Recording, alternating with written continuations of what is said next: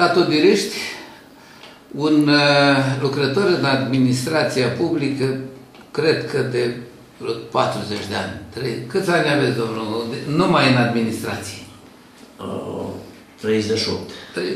De vreo 40 de ani. Uh, un uh, personaj pe care îl cunosc foarte de mulți ani, foarte activ, foarte mobil spiritual, asta e esențialul fost secretar, deci omul cu legea și iată acum primar. Întrebări, nu? Domnule Nicolae Starate, mai întâi bine v-a găsit. Bine ați venit la noi. Primăria la Todirești este totdeauna primitoare cu noi și ne bucurăm de colaborare. Uh, eu aș zice să treceți așa ca pe niște flori repede revistă, cam cu ce vă mândriți pentru anul acesta din, din urmă, 2010 să zicem. Principalele realizări ale comunii, ale primarului din Totiliști. În primul rând, am început uh, cu unele proiecte care sunt uh, stipulate în actele normative în vigoare și anume uh, continuarea cu obiectivele stabilite în ordonanța 7 din 2006 și anume alimentarea cu apă la patru localități din comună și un pod de beton peste părâul și Apolvăț. Uh, aceste obiective sunt uh, într-un stadiu de 70%, în proporție de 70%. Ne găsim în situația aceasta datorită faptului că nu am primit uh, fondurile necesare pentru demararea acestor obiective și anume încheierea suma, lor, da. încheierea lor. Suma a fost, a fost de 40 de miliarde de bani vechi și am primit până acum în jur la vreo 29 de miliarde. Ar mai trebui diferența, deci vreo peste 16 miliarde ca să putem să să o finalizăm. E clar, anul acesta nu. Anul acesta am primit 2 miliarde de jumătate acum, am asistat la alimentarea cu apă și am început să acționăm. Aveți la, proiecte noi ca să folosiți de beton. Am proiecte noi și anume baza sportivă. Am primit 500 de milioane bani vechi, s-a început da. lucrarea, un proiect la baza sportivă. Mai aveți echipă cu bază sportivă? Nu da. prea am. Echipa am uh, desfințat-o. Aveți, aveți echipă culturală, ca să zic echipă așa. culturală, aveți o formație bună. Formații de dansuri, care sunt uh, din soț și soție. Am mers în diferite localități din țară. Ei, gata, am și spus că aveți. De asemenea... felicitări oricum, aveți un director de cămin activ da, da, da. și pentru că de ani de zile eu știu că ați încurajat... Uh, obiceiul de anul nou, obicei, așa. Ce facem? Filmăm la obiceiurile de anul nou anul ăsta? Bineînțeles, trebuie să filmăm, sigur. La 19 și la voastră e etapa să vedem dacă se pot ajunge. Dar... Vedeți că aveați 14-15 uh, formații pe care le-am filmat în da. atâția ani. Așa, legat de asta, mai am acum, se demarează, se lucrează la un proiect pentru înlocuirea energiei clasice cu energia uh, solară, panouri solare și da. energie geotermală. Unde A, faceți asta? Aici, la primărie și școala de clasele 1-8 din Tonerești. Foarte bine. Aproape este finalizată, s-au obținut aceste proiecte numai trei comune, trei localități, unități administrative din județ.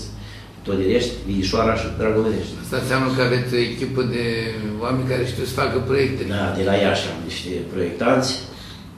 De asemenea, am, actualmente am uh, intrat în posesia unei hotărâri de guvern prin care s-a aprobat uh, spații verzi, un proiect pentru spațiile verzi, în valoare de 973.325 de lei. Deci aproape 10 no, miliarde. Aproape 10 miliarde. Bun. Asta înseamnă că aici așa... Deci la aici un spațiu acesta lângă școală, lângă școală și primărie, după aceea mai sunt niște localități din, din comună, unde în cele nouă localități vor fi instalate spații și locuri de joacă pentru copii, spații verzi, să ne încadrăm în această sumă. Am mai avut încă un proiect la măsura 322, privind, erau cinci obiective, Uh, reabilitarea două drumuri comunale, drumul 103, comunal 130 din drumul național 15 de spre satul Viișoara și de 131 din drumul județean 248 spre satul Cotic. De asemenea, reabilitarea centrului cultural din Toderești. V-ați mai cumpărat costume? Nu am cumpărat niciun costum, dat fiind faptul că Instrumente. nu au fost instrumente muzicale am mai cumpărat. Mhm. Avem și fanfara care acționează paralel cu echipa de dansuri, care e ceva autentic. Nu sunt înregistrate pe CD, sunt, deci fanfara Dar acționează și- există asta esențial. Da, da. Domnule primar, la 416 câți așezăm? La 416 avem 114 beneficiari. Dosare sau beneficii? dosare, de așa, dintre care uh, mai sunt probleme în sensul că unii uh, uită că noi practic le uh, trimitem comunicări, că ei trebuie să se prezinte la Agenția Județeană de Ocupare și Formarea uh, Forței de Muncă ca să semneze din 3 în 3 luni, pentru că este uh, beneficiază de acest ajutor social. Au mai fost, au avut 158, în schimb, au mai fost uh, Ziceți-mi Uh, așa scoși cât gândiți dumneavoastră, e necesar să se dea asemenea ajutoare sociale? pentru Aici, unii... tot direct, e o comună de oameni foarte gospodari. Muncitori. Ar fi, dar în general să știți că unii abia așteaptă să primească ajutorul social și nu vin să-și execute cele minimul de ore, deci până la 72 de ore lunar. A, Când uh, aducem banii de la trezoreria Negrești, curtea primăriei plină de acești beneficiari. Care se duc după aia la crâșmă. Se duc la crâșmă, dar după aceea, când uh, solicităm la exec- vicii primar, trebuie să îi aducă la executarea anumitor lucrări la nivel de- Sărăi cei din primărie Da, și în da, da. special primarul. nu e? Așa, nu prea, nu prea acționează. Da. Bine, cu ei am mai executat niște lucrări, dar cel V-ați aprovizionat cu lemne am pentru adus școli? ele pentru școli, avem uh, duse la toți, le-am uh, depozitat la lucruri, le-am tăiat cu drujba, sunt uh, Altfel spus, v-ați gospodărit pentru iarna am asta. gospodărit și anul trecut și anul acesta, deci am căutat primăritar, am dat, am dat uh, ca copiii să nu rabde. Ce mai intenționați să faceți în luna decembrie? Păi în luna decembrie intenționez să, dacă timpul e, e prielnic cu banii aceștia care am primit de la ordonanța 7, să termin uh, cu instalarea, cu rezolvarea, construirea podului de beton peste pârâul ăsta Covăț.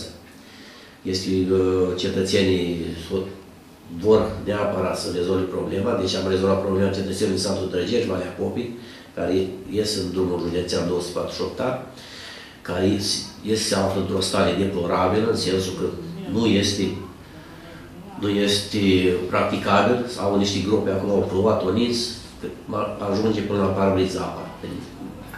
E clar, dumneavoastră vă lăudați și cu gropile, nu numai. Grupele de drum județean. Am mers la Consiliul Județean, la domnul președinte, am discutat, o zis că o să vină, să pună, să niveleze, să aducă niște piatră, dar nu văd. De asemenea, vă spun într-un, uh, probabil că știți, într-un ziar local, că s-a aprobat pentru 2011 modernizarea, reabilitarea drumurilor județene. Văd că nici acesta 248 nu este prins. Nu, nu introdus acolo. Pentru, nu știu care e treaba, dar uh, e greu. Dacă mergi, e dezastru. Primesc telefoane noaptea pentru, de la cetățenii, de la uh, transportorul, de, de la...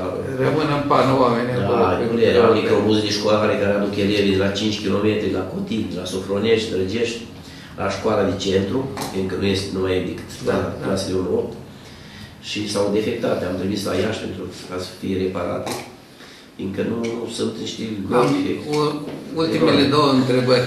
Cea mai mare problemă pentru dumneavoastră care ar fi? Cea mai mare Pentru problemă primar, primar și primărie, că până la urmă. cu drumurile comunale, reabilitarea Asta drumurilor este. comunale, din nenorocire. Deci când am intrat prima dată la primărie în 2008, am uh, petruit două drumuri comunale care se intra cu ciubote.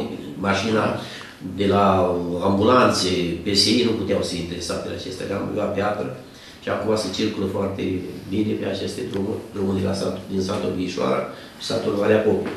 Mai am drumul din Cotic, unde fostul primar a dus niște piatră acolo, dar nu mai s-a făcut cu dus-o Așa. și nu se poate circula probabil deloc în satul ăsta. E noroc că trebuie să... De Așa asemenea, de izvoarele de la Cotic, da? da, de asemenea, aici la Cotic trebuie să rezolv problema alimentării cu apă. Nu au o parte din cam jumătate din sat, partea dinspre sud, aduc apă de la un kilometru, jumătate, doi kilometri, cu o viriță, cum să nu... E Da. greu, nu am, dacă rezolv problema, am uh, e prevăzut și el, e prins în uh, alimentarea cu apă, satul Cotic, și și sper să o rezolv în primul trimestru al anului 2011 și să am, am apă. Și ultima întrebare, cum veți petrece în decembrie, ianuarie, ca primar și ca familie? Păi ce să petrecem? O să petrec cu copiii mei, cu nepoții, cu rudele, cu prietenii de aici, din, așa, din cadrul... Deci nu plecați din localitate? Nu plec din localitate. Atunci sigur va fi festivalul obiceiurilor la Și festivalul obiceiurilor, pe 31 cum este implementat de fiecare dată, de atâția ani. Am rezolvat problema deja câteva zile în urmă, ieri am, ieri am chemat băieții de la satul Buc. Vreau ca să nu dispară obiceiul acesta, dat fiind faptul că în, în muzică costă, dar să cânte la, la așa, 45 de milioane mai mică, mai atâta asta. Și am rezolvat cu băieții de la satul Buc să le acord spațiul pentru locația pentru desfășurarea sărbătorilor de Crăciun, fără nicio plată. De asemenea, să vedem Au ce... ora lor, nu ca de ora obicei. lor, tot, absolut. Să vină îmbrăcați cum trebuie, să mergem să rezolvăm uh, problemele care sunt la nivelul Să fie într-un ceas bun. Deci vă pregătiți de cheful de anul nou. Da, e- e- e chiar că dumneavoastră, când am mers pe jos la Rafaela, Da, cu, sigur. Deci venim să vă urăm de sărbători.